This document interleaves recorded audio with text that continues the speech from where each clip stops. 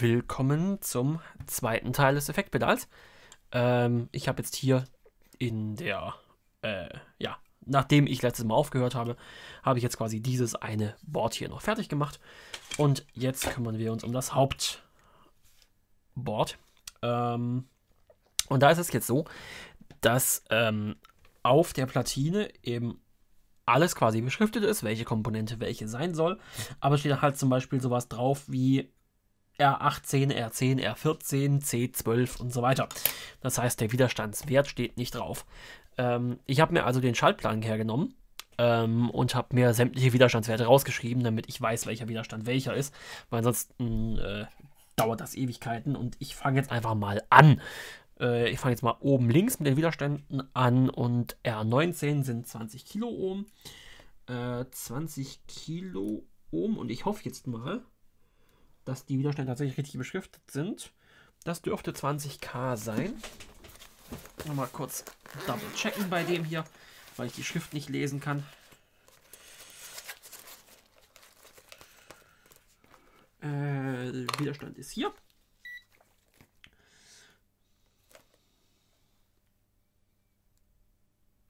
...19,53 Kiloohm, das zählt als 20 Kiloohm, würde ich sagen. Weil bei so hohen Widerstandswerten ist die Genauigkeit dann, glaube ich. Ne, also R19 20K.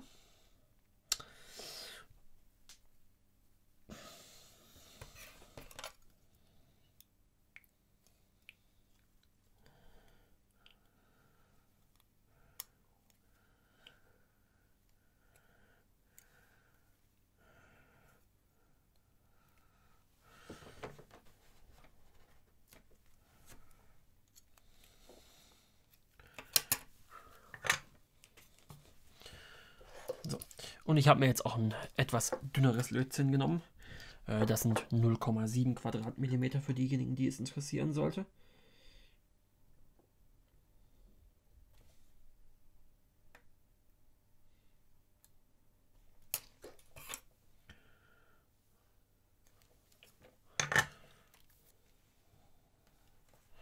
Wunderbar.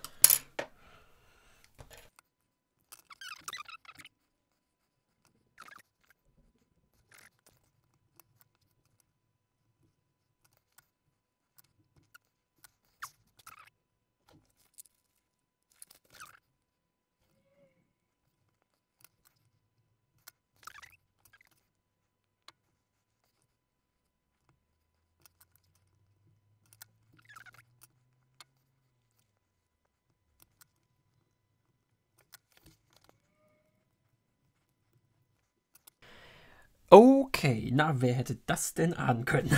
also, ähm, ich habe jetzt alles Mögliche an Widerständen hier drauf gelötet. Und äh, dann ist mir aufgefallen, sag mal, irgendwie passt das nicht so ganz. Ähm, ich habe jetzt hier quasi die fehlenden Widerstände, also die Widerstände, die ich noch nicht aufgelötet habe, äh, draufgeschrieben und den eigentlichen Wert, den diese Widerstände haben sollten. Ja, das heißt, R16 sollte 12K sein, R17 sollte 12K sein, R20 sollte 10K sein, ähm, R2 511K, R6 1K und R7 nochmal 12K. So. Ähm, laut der Packungsbeilage, hätte ich schon gesagt, sind auch äh, 7 mal 12K da drin. Ich habe aber nur 4 mal 12K gezählt. Das heißt, äh, ja, die fehlen jetzt. Ähm, ja, das heißt, äh, ich muss jetzt ein bisschen improvisieren und ich weiß nicht genau, wie das jetzt die, äh, ja, wie das jetzt dieses Ding beeinflussen wird.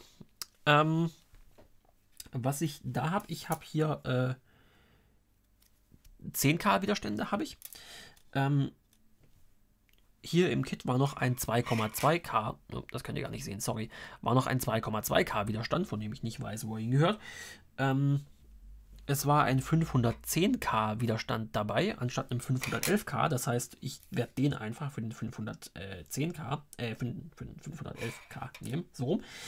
Ähm, ja, 10K wird 10K werden und äh, ja, 12K habe ich halt tatsächlich leider nicht da. Da werde ich jetzt auch einfach mal, je nachdem, wie mir das dann einen Strich durch die Rechnung machen wird, werde ich das aber sehen, weil das halt dann eine andere Farbe an Widerständen ist, äh, werde ich anstatt den 12K Widerständen auch die 10K Widerstände hier reindübeln. Und äh, ja, dann gucken wir mal, wie sehr ich mir damit ins Bein schieße. Äh, ich löte mal weiter. Okeli dokeli. Ähm, wir sind jetzt mit den ganzen Widerständen fertig. Äh, und ich habe jetzt die Widerstände, deren äh, Werte ich quasi auswechseln musste, also die nicht der Originalwert sind. Die habe ich jetzt hier mal rot markiert. Das heißt, das sind die beiden hier und der hier. Das sind jeweils die, ähm, was waren das? 12 Kilo Ohm waren das, die ich durch äh, 10 Kilo Ohm ersetzen musste, weil ich nichts anderes da habe. Ähm, die Diode habe ich auch drauf gemacht, die eine. Ähm, die ist einfach nur um die, ähm, hier, um Verpolen zu verhindern. Ähm, gut, als nächstes sollen wir nach Anleitung wohl die äh, ICs und äh, Sockel hier drauf tun. Und äh, dann kommen die Transistoren und, äh, beziehungsweise der eine Transistor und dann die ganzen Kondensatoren hier. Ähm, ne? Ich bin angeschlossen. Weil wenn man mit ICs arbeitet, manche sind da ja relativ empfindlich. Du bist ein Transistor, den brauchen wir jetzt erstmal noch nicht. Okay, ähm, das ist relativ simpel, weil es gibt zwei IC-Sockel auf diesem Ding und ja, zwei ICs, wer hätte es gedacht. Ähm, hier ist der andere IC. Ähm, das heißt, wir löten jetzt, glaube ich, erstmal den kleinen Sockel.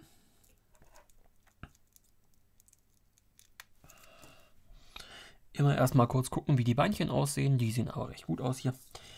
Ähm, und dann darauf achten, dass die äh, auf der Platine eingezeichnete Einkerbung tatsächlich auch die Einkerbung ist, die man haben möchte. Und jetzt nehmen wir wieder unser Stückchen Isotape, das von der gestrigen Lötaktion echt ein bisschen Schaden davon getragen hat. Vielleicht muss ich das Tape gleich mal auswechseln. Und kleben den hier nochmal kurz drauf. Nochmal kurz checken. Notch auf der Seite. Jawohl, das passt. Ähm, achso, ja, äh, Lötzinn hätte man vielleicht auch noch voll können. Na. So. Äh, ups.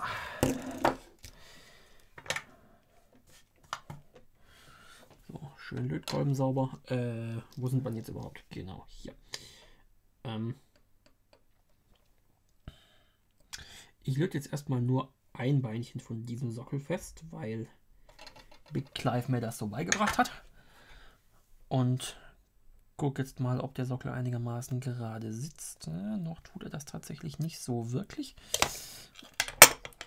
Packen wir das Ding mal kurz hier drauf. Na, das hilft auch nicht wirklich was. Ähm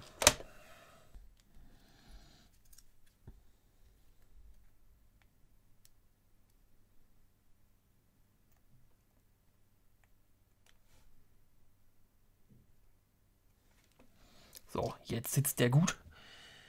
Und jetzt können wir das Tape im Prinzip auch schon wieder wegmachen. Hier. Ja, ich mache gleich mal ein neues Stück Tape. Ne, Sockel sitzt wunderbar flush hier drauf, wie man auf Englisch so schön sagt. Und jetzt machen wir den Rest fest.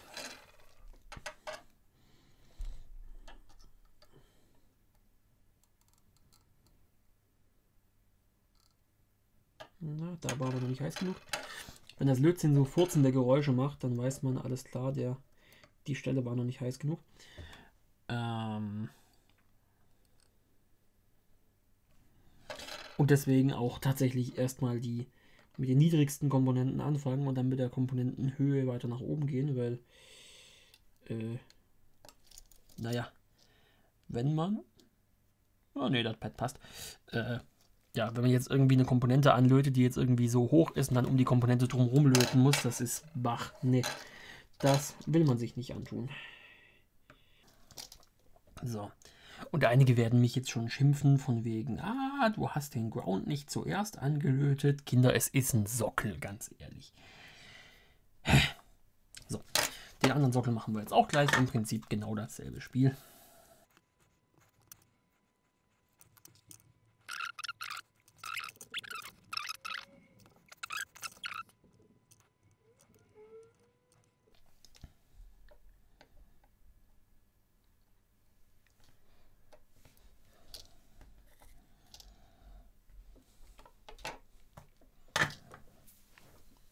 Hier steht then continue with IC and transistor socket. Transistor socket? Was? Hm. Wo ist denn der? Wo, wo ist denn der Transistor überhaupt? Der soll hier sein, tatsächlich. Ähm, ich würde auch mal sagen, den löte ich als letztes. Wobei, na, ich weiß es nicht. Ähm, also wir bewegen uns jetzt gerade hier oben in der Platine. Und hier in der Mitte soll der Transistor rein. Und links und rechts davon ähm, sollen. Ähm, hä? Ah, nee, okay, sorry, war gerade verwirrt. Ja, stimmt doch. Ähm, hier in die Mitte soll der Transistor. Und links und rechts davon sollen jeweils ein Elko. Ähm, hm. Das könnte interessant werden. Vielleicht mache ich den Transistor dann tatsächlich als erstes. Aber das, ja, so. Ähm, die ICs mache ich jetzt erstmal noch nicht, weil ich weiß nicht, wie empfindlich die bezüglich äh, äh, ja, hier Kriegströmen und so Krempel sind. Deswegen packe ich den jetzt einfach mal zu dem hier, damit die da sich gegenseitig zugucken können. So.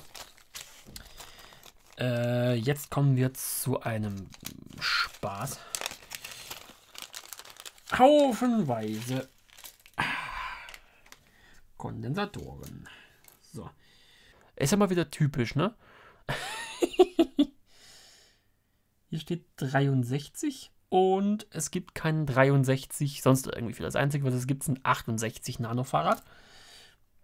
Hier steht offensichtlich 10N drauf, das heißt, das, äh, das werden vermutlich 10 Nanos sein.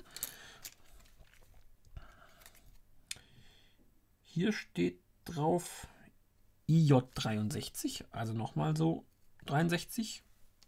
Nanofahrrad, ich habe keine. Muss mal nachschlagen. Okay, okay, okay, okay. Einig, einige von euch haben wahrscheinlich schon angefangen, mich anzuschreien in den Kommentaren. Als ob jemand Kommentare schreibt. Also, äh, ich habe jetzt rausgefunden, wie man die äh, Werte auf diesen, wie heißen die, MKT-Kondensatoren liest. Äh, das hier unten sind Ceramics und das sind Elkos, das weiß ich. Ähm, das, was hier steht, ist Punkt 1J63. Äh, Punkt 1 steht in diesem Fall für 0,1 Mikrofarad, also 100 äh, Nano, genau. ich muss gar nochmal. Ähm, J ist anscheinend irgendeine Art von Toleranzklasse und 63 sind 63 Volt, die die maximal aushalten. So, jetzt wissen wir das auch. Ähm, so, und ähm, ja, ich habe mir jetzt auch wieder sämtliche Werte für die ganzen Kondensatoren hier rausgeschrieben und habe die hier auf dem Bildschirm. Das heißt, ich kann jetzt einfach munter anfangen, hier Zeug rein zu braten. Ähm, fangen wir doch mal hier oben an mit C8. Äh, C8 ist ein 10 Nano MKT. Und ich glaube, ich knips die Beinchen ab. So, ähm, ich glaube, dass sowohl die MKTs als auch die Ceramics keine Orientierung haben. Die Elkos haben eine.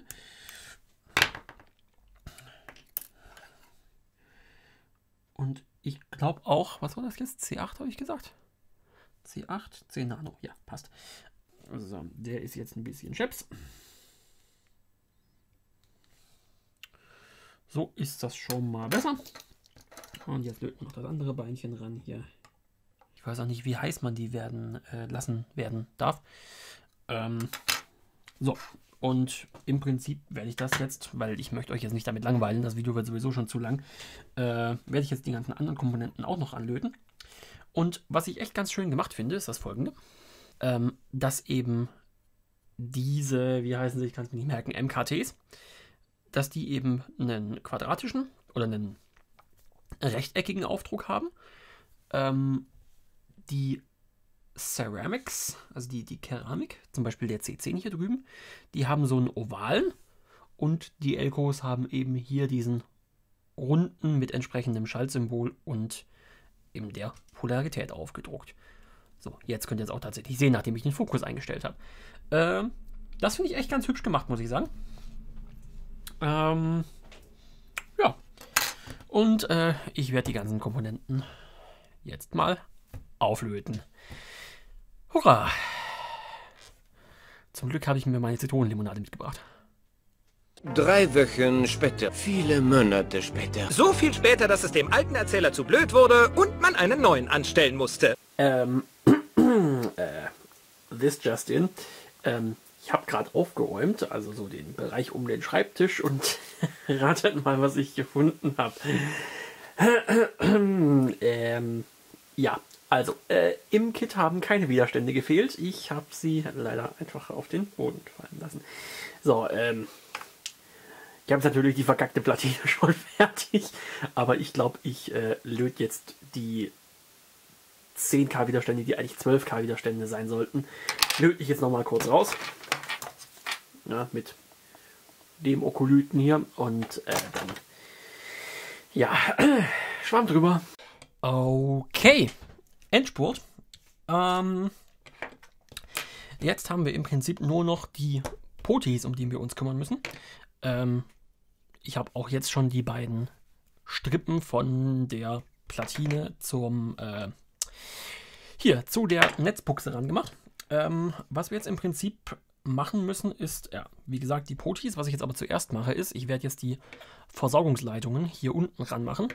Die werden dann mit diesen Punkten auf der, könnt ihr das einigermaßen sehen. Sorry, ich habe heute nur einen Scheinwerfer an, ähm, weil es ist zu warm. Ähm, ja, genau. Das heißt, wir werden diese Leitungen jetzt, äh, ich muss sie zum Glück nicht abisolieren, weil sie sind bereits, äh, generöserweise sind sie bereits für mich abisoliert worden. Das heißt, ich muss sie jetzt nochmal kurz verzinnen. Und dazu nehmen wir uns mal kurz den hier. Das heißt, ich mache jetzt einfach nur kurz diese Teile hier weg und verzinnen die Kabel. Ihr kennt die Übung.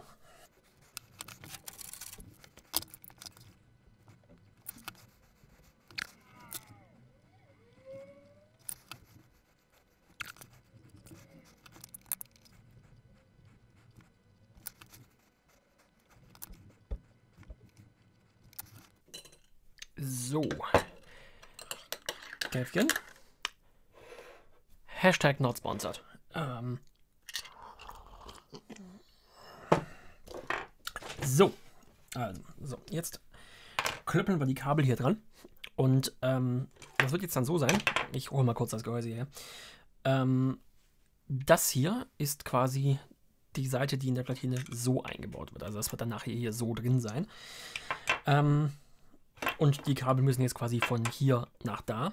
Ähm, und ich werde jetzt, denke ich mal, die Leitungen an der Platine hier, hm, sorry, ich werde die Leitungen an der Platine hier jetzt quasi hier von unten dran machen, äh, damit ich sie unterhalb der Buchsen verlegen kann, also quasi hier runter. Ähm, genau, das heißt, äh, ich mache jetzt mal kurz für, für Dummtim mache ich jetzt mal kurz eine Markierung, dass ich diese hier haben möchte. So.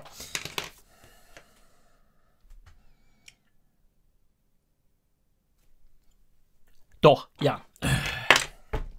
Schlimm.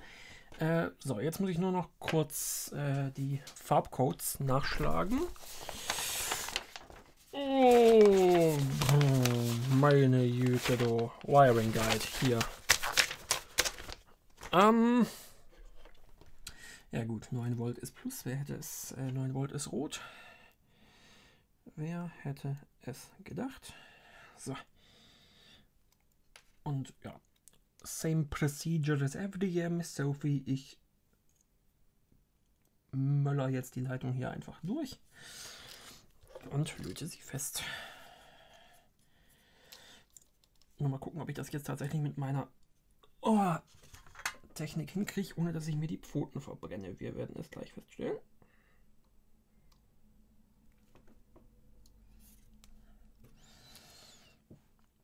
Anscheinend ja. Okay. Ähm, das mache ich jetzt für alle anderen Leitungen und dann melde ich mich nochmal. Okili dokili. Ähm, diese vier Leitungen sind jetzt dran. Jetzt kümmern wir uns um die Potis. Und da steht in der Anleitung, uh, put a flat bumper on every potential diameter's back. There was a for printing touching the pot's backs. Da fehlt ein Apostroph.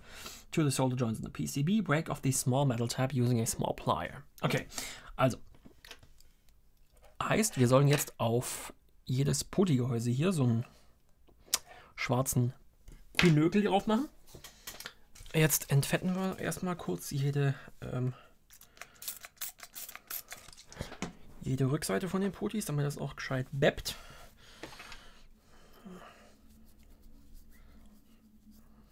So.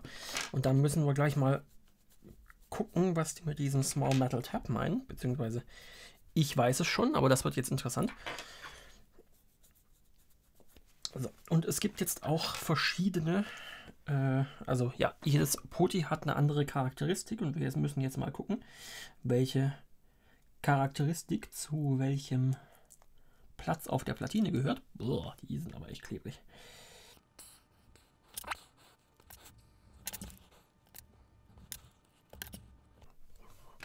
So. So. Ähm, so, jetzt zu diesem Small Metal Tab. Ähm, das gibt es tatsächlich nur an einem Poti und zwar an diesem hier. Ähm, und aus welchem Grund auch immer ist jetzt an dem Poti auch noch eine Mutter drauf, obwohl eigentlich äh, ne, Muttern und Unterlegscheiben dabei sind. Ich finde nur die Tüte gerade nicht. Hier. Und da sind drei Muttern und drei Unterlegscheiben drin. Ah, okay. Ähm, so, dieses Small Metal Tab ist jetzt dieses Teil hier. Das ist jetzt dieses Dingens hier. Dieses kleine Pinökelchen. Und das müssen wir jetzt abbrechen. ich weiß nicht so genau, wie man das jetzt mit einer kleinen Zange wegkriegen soll, aber wir probieren das einfach mal. Ich habe irgendwo meine Spitzzange rumliegen. Weil ich habe da jetzt schon ein bisschen... Ugh. Schlons auf der Zange. Äh, ich habe da jetzt schon etwas Schiss, dass ich da jetzt mehr kaputt mache, als ich kaputt machen sollte.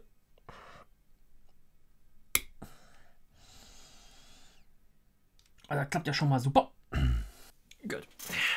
Schnips. So, jetzt am besten von den Augen weg.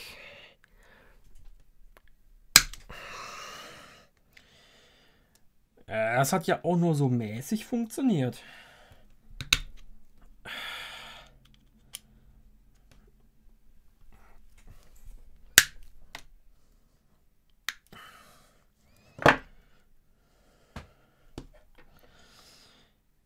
Äh, Stress.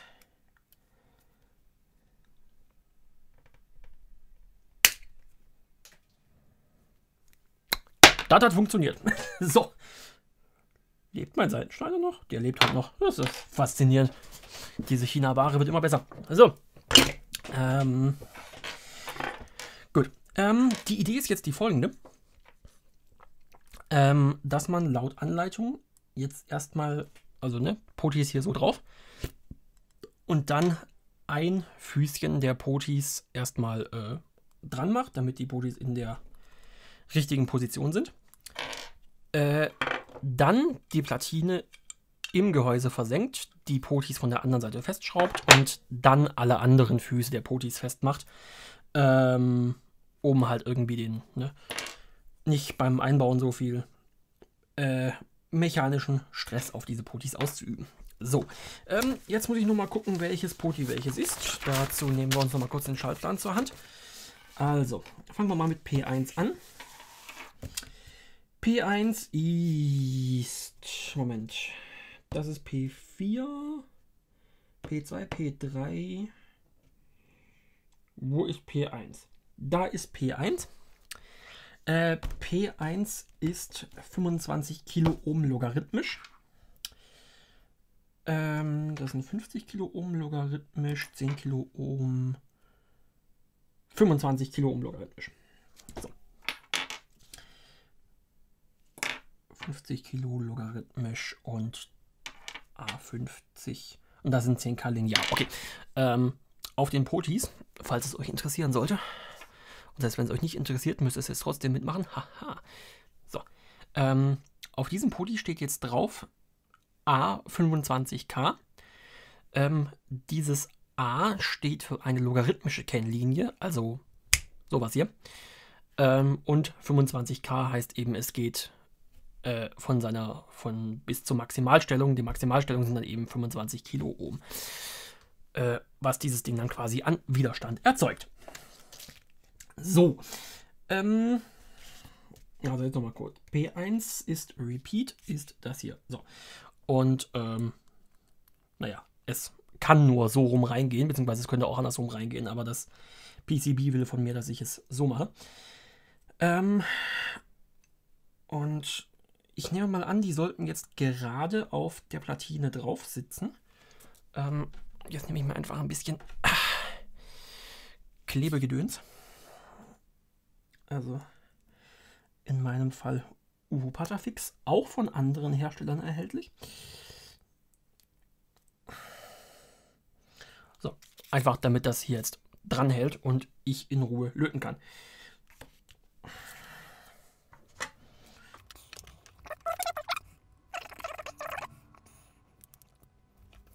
Oh, und natürlich ist es rausgesprungen. Oh.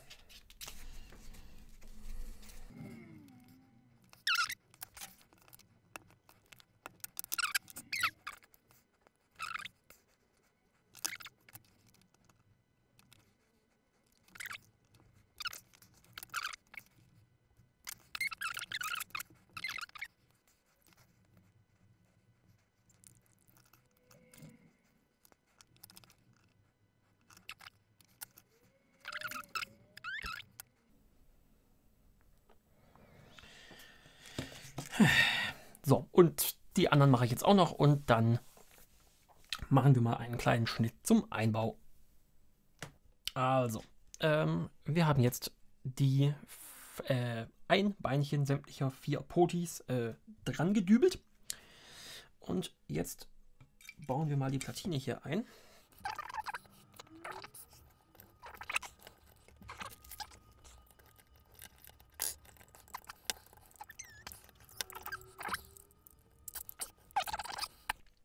Oh, ich sehe schon ein Problem. okay, gut. Also, jetzt machen wir erstmal überall die Unterlegscheiben drauf.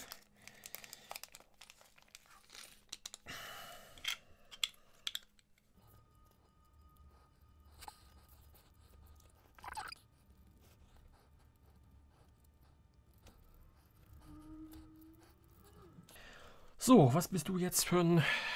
Bist du ein Zehner oder ein Dreizehner? Gucken wir mal kurz.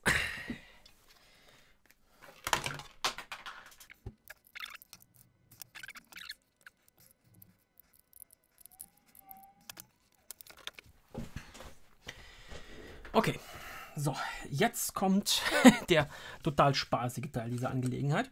Und zwar müssen wir jetzt alle Verbindungen noch machen. Und bei den Potis sehe ich jetzt ein ganz, ganz dickes Problem. Und zwar wie zum, ne, wie zur Hölle soll ich an dieses Beinchen hier rankommen? Das ist mitten da drin. Ich muss dann irgendwie so seitlich da so, oh Gott, das wird scheiße. das wird nicht gut, sage ich euch.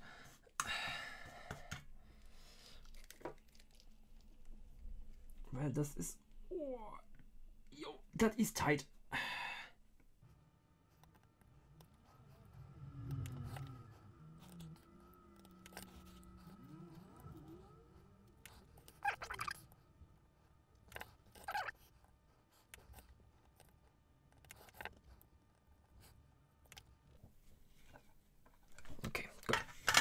So, ähm, das war jetzt nämlich auch der Grund, warum ich diesen einen Chip hier nochmal aus seinem Sockel rausgenommen habe, äh, damit ich besser an den Dingens hier rankomme. Also, jetzt setzen wir den wieder behutsam ein. Okay. Gut, äh, jetzt fehlen noch die beiden Kandidaten hier oben und diese vier Strippen, die ich eigentlich echt nochmal hätte kürzen können, aber ist mir jetzt, glaube ich, auch Wumpe. So, ähm, was ich jetzt bei diesen Effektpedalen gelesen habe und was auch in der Anleitung so drin steht, ähm, man soll äh, Masse mit dem äh, mit dem Inneren, also quasi mit diesem Pin dieses Steckers verbinden. Ähm, das dachte ich mir zuerst einmal, das kann doch irgendwie nicht richtig sein. Aber anscheinend ist das bei Effektgeräten relativ häufig, dass sie quasi äh, Mitte negativ sind. Ähm, das kenne ich ansonsten eigentlich nur von, naja, Sony-Ladegeräten, ehrlich gesagt. Und alles andere, was ich sonst so rumfliegen habe, ist Center Positive. Mhm. Also da müssen wir jetzt aufpassen und ich muss jetzt erstmal rausfinden, was da überhaupt Mitte ist. Hm, nehmen wir mal die hier. Oh Gott, nee, machen wir so. Okay. Gut. Also, das große Ding hier, der hier, also wir können das überhaupt nicht sehen, Verzeihung. Oh je. Der hier, der ist Mitte. So.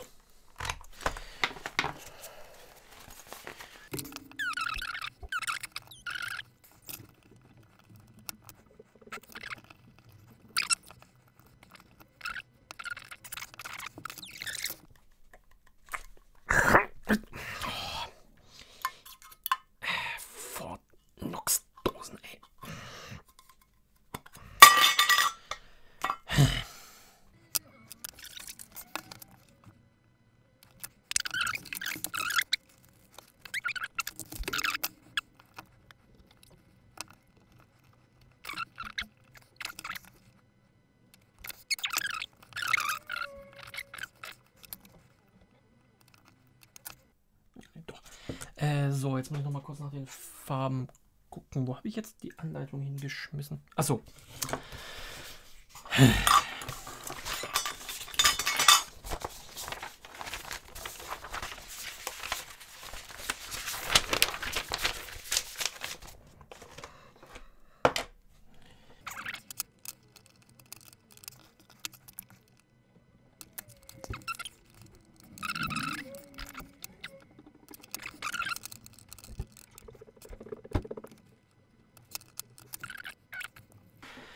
Gut, also, ähm, ich habe jetzt sämtliche Leitungen mehr oder weniger dran gelötet. Ähm, ich habe jetzt hier auf diesem Stecker habe ich äh, 9 Volt mit Negativ. Das habe ich mit dem ähm, Dingens, Bummens, mit dem Multimeter überprüft. Ähm, diese 9 Volt kommen jetzt aus meinem Labornetzteil raus. Ähm, so, jetzt schalte ich hier mal den Strom auf N. Okay, noch explodiert nichts. Diode wird nicht warm. Es tut sich aber nichts. Gut, äh, ich habe herausgefunden, woran jetzt erstmal die initiale Fehler lag. Und zwar ähm, mein äh, hier Hohlstecker Adapter, heißt das glaube ich so. Ich glaube, es heißt Hohlstecker. Ähm, der hat irgendwie keinen richtigen Kontakt hergestellt, weswegen ich jetzt einfach mal kurz direkt innen drin am Board die äh, Spannung angelegt habe. Also noch ist die Spannung nicht angelegt. Ähm, ich gebe es jetzt auch mal kurz drauf. So, das Ding zieht entspannte 19 mA, wenn nichts drauf ist.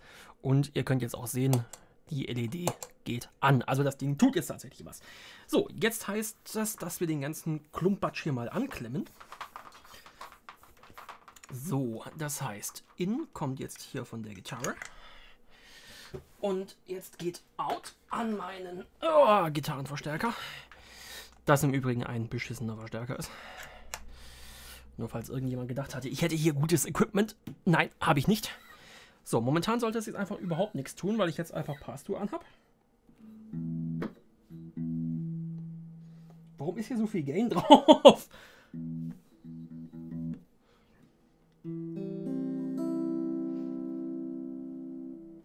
Okay. Und jetzt mal gucken. Oh, es rauscht schon mal um einiges.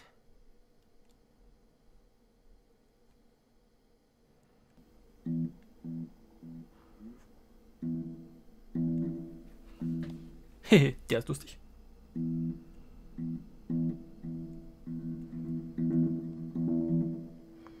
Jetzt haben wir hier den Elvis.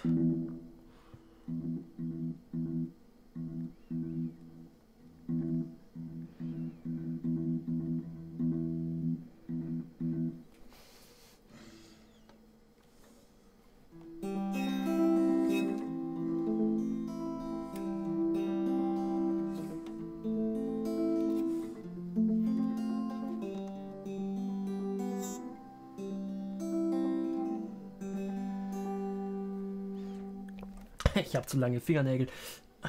Äh.